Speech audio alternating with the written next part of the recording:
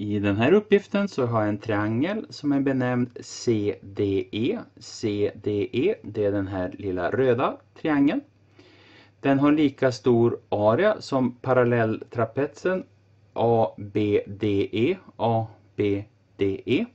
Så den här arean för den här lilla triangeln är A och arean för den här ytan är A. Nu i figuren så ser det ut som de här ytorna är olika stora.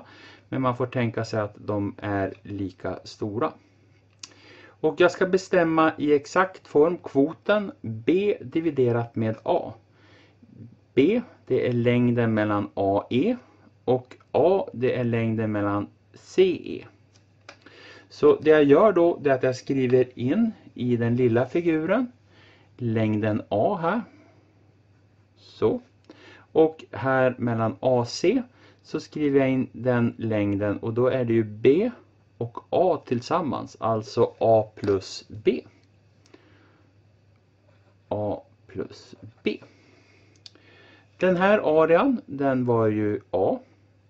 Och det betyder att arean för hela den här triangeln, den stora triangeln, den är 2A i storlek. Och då tittar jag på area-skalan här skalan. Jag har arean för den stora figuren och arean för den lilla figuren. Och förhållandet mellan de här är 1 till 2. Och då kan jag göra om areaskala till längdskala eftersom jag vet att areaskalan om jag tar roten ur den så får jag längdskala. Så om areaskalan är 1 till 2 då kommer längdskalan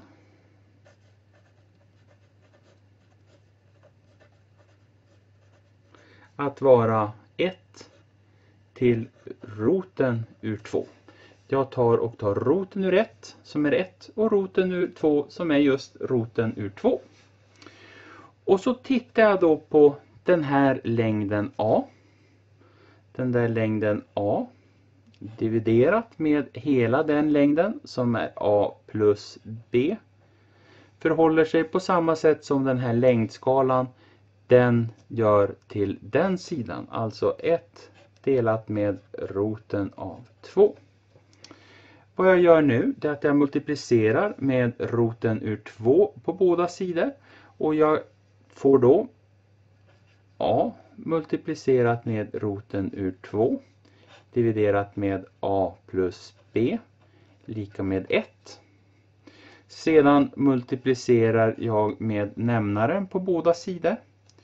Och då får jag följande. Jag tar och byter plats på a1 och roten ur. Så jag får roten ur 2 multiplicerat med a är lika med 1 multiplicerat med parentesen här. Så. Och 1 multiplicerat med a plus b det blir just den här parentesen. Så jag skriver här då a plus b här roten ur 2 multiplicerat med a.